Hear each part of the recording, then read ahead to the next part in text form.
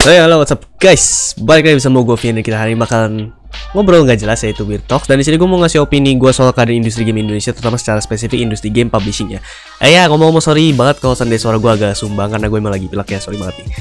Eh ya jadi gue mau mulai aja di sini ya kita tahu bahwa sebagai gamer kita sering mainin game online yang khususnya di server Indo kayak misalnya game-game yang udah lama yaitu RF Online, Silona, LDS, Point Blank hingga yang cukup baru yaitu Dragon Nest dan saya udah mau tutup ya dan sejenisnya. Tapi ini 2019 dan lumayan banyak dan lumayan banyak game yang mau ditutup ya. Dari Dragon Age sendiri udah mau ditutup tanggal 3 Juli nanti dan game-game yang dulunya rame kayak Ragnarok Seal Online itu udah sampai Dragon Age juga akan ditutup ya. Jadi sebenarnya apa sih yang mau gue bahas di sini? Yang mau gue bahas ini adalah penutupan game-game entah karena kurang peminat dan sejenisnya tapi kita akan coba buat bahas sebisa mungkin dengan pembuatan yang fun tapi tetap serius. Ya. di sini kita mau lihat dari sisi player dulu. Kita nggak bisa pungkiri kalau kebanyakan gamer sekarang pengennya yang grafiknya bagus bisa mainin mobile ataupun cross platform. Kalian tahu cross platform itu apa kan? Bisa dimainin di platform-platform platform berbeda misalnya HP bisa dicambungin dengan PC bisa disambungin dengan PS4 bisa disambungin dengan Xbox terus dengan game yang free to play nggak ada sistem pay to win dan sejenisnya dan di sini kita nggak bisa nyalain player dengan keinginan buat mainin suatu game yang menantang skill mereka sebagai player dan bukan sekedar membuang-buang uang ya. Ya wajar siapa juga yang mau mainin game dengan competitive advantage yang ketara banget cuma karena kalian spain duit banyak-banyak kecuali untuk satu game FPS itu. Yang sampai sekarang masih banyak di request dan kebetulan dari post saya itu bukan berarti gue benci gamenya sih cuman ya agak lucu sih kan. Di gue mau ngomongin yang pertama dulu. Di sini kita bakalan ngeliat dari sisi publisher sebagai penyedia layanan server. Kita jelas tahu kalau yang namanya game online pasti perlu server. Ya iyalah. Dan biaya server kita tahu sendiri bukan sesuatu yang bisa dibayar dengan duit hitungan receh. Lalu gimana pengembang alias developer maupun publisher bisa mendapatkan untung kalau dari game yang mereka publish atau kembangin? Jadi, gue mau nyebutin beberapa cara yang udah jelas, udah jelas. Yaitu, mereka bisa aja jual game mereka dengan harga tertentu kayak misalnya dulu CSGO dihargai 120 ribu, Overwatch dengan harga 400 ribu sekian atau ya mereka bisa adain microtransaction buat fitur-fitur berbayar kayak misalnya Dragoness dengan kostum-kostum yang ngasih kalian status tertentu atau bisa bikin konten baru berbayar yaitu yang kita sering tahu di Steam ada yang namanya DLC atau bahkan gabungkan semuanya jadilah satu game yang akan dicintai namun dibenci pemainnya. Dan next, terus mungkin di antara kalian ada manusia yang ada manusia-manusia yang bakalan bertanya ke gue kan atau mungkin komen gitu. Dasar manusia-manusia kapitalis itu. Wow wow wow wow wow wow. Eh sabar dulu bro. Mungkin Kalian mungkin masih ada yang mikir memberikan sesuatu secara cuma-cuma alias gratis adalah suatu kegiatan yang mulia, tapi percayalah secara rasional tidak ada apa pun di dunia ini yang akan mendatangkan apa ya penghargaan untuk kalian hanya karena hanya karena kalian memberikan sesuatu secara gratis. No, sesuatu dengan cuma-cuma tanpa modal atau apa pun. Dan ini juga sebenarnya menjelaskan kenapa banyak artis yang nggak serak sama kliennya karena nego urusan harga. Dan kliennya berkata itu kan cuma gambar. Cuma ya itu butuh energi please tapi kita nggak akan bahas itu di sini ya. Sekarang kita ngomongin fokus dari si developer sebagai pengembang game. Pengembang game itu bedanya sama publisher itu apa? Singkatnya gini, pengembang game itu adalah orang yang bikin, bikin ya, bikin, bikin gamenya gitu. Developer itu yang punya hak cipta dan dia dapat uang dari kontrak yang dijalin bersama publisher. Ya, publisher itu menyediakan, oh sorry, ya benar, menyediakan server dan ya nge-publish game itu lah intinya supaya bisa dimainkan oleh orang-orang dari region tertentu. Dan dia pakai buat menghasilkan keuntungan sendiri dan si publisher ini bakal memakai game yang udah dikontrak itu untuk menghasilkan keuntungan buat publishing sendiri beli kontrak lagi banyak kontrak dan secara spesifik dan membuat keuntungan dari fitur-fitur yang ditawarkan dari game tersebut. Jadi di sini dia mulai nangkep kan garis-garisnya di mana? Developer dengan publisher.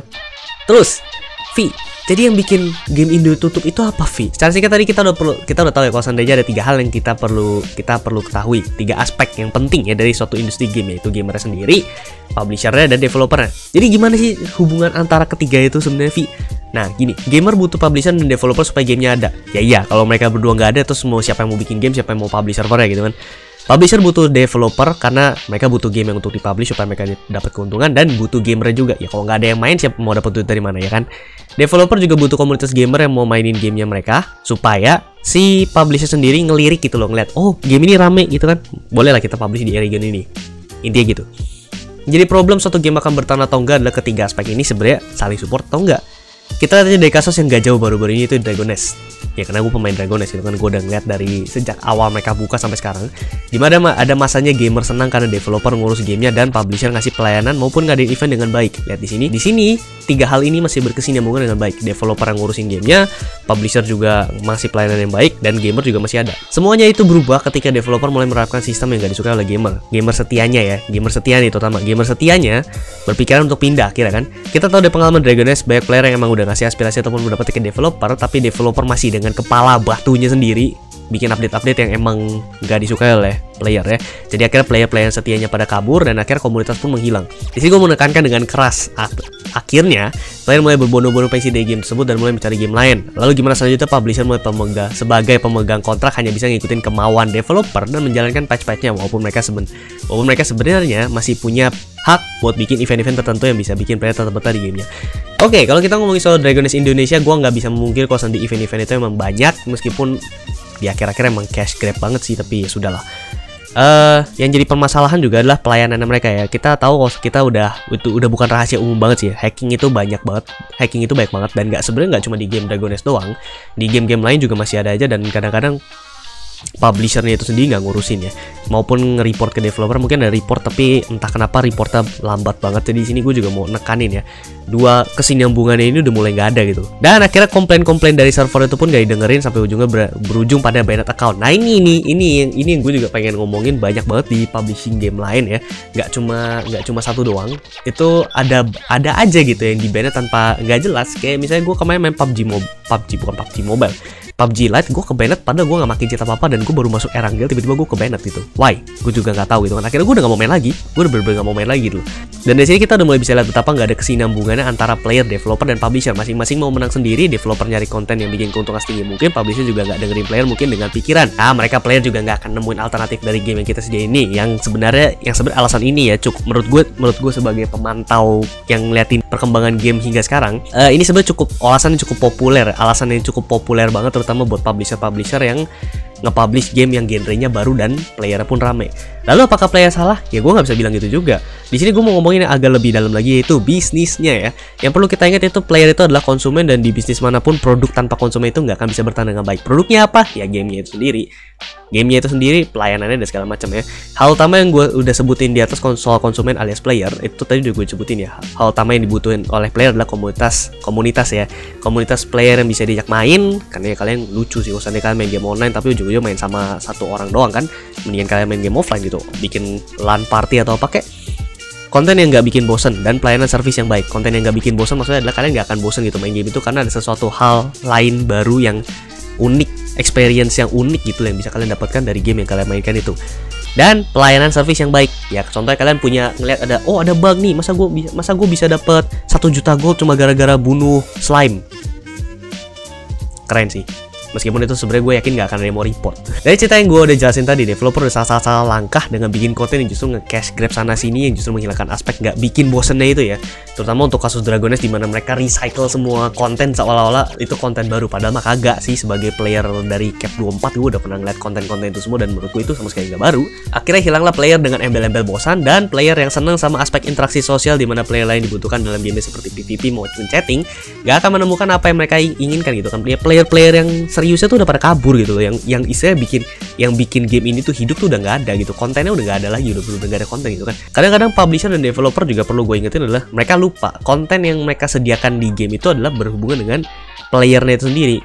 Playernya adalah konten mereka tapi mereka nyuruh kita untuk bayar dan akhirnya mereka sendiri gak ada konten dan ujung-ujungnya kayak kita kita kita bingung juga apa yang kita salah gitu. Ya gue sih gue sih gue sih puyeng ya kalau ada developer ataupun publisher yang ngomong kayak gitu sebenarnya tapi ya udahlah. Publisher sendiri dengan hilang komunitas player akan kehilangan pendapatannya yang berujung pada ketidakmampuan untuk mendapatkan server. Ya gimana? Mikrotransaksi yang jadi pendapatan mereka hilang karena nggak ada yang mau beli. Ya gini aja gitu loh kenapa nggak ada yang mau beli?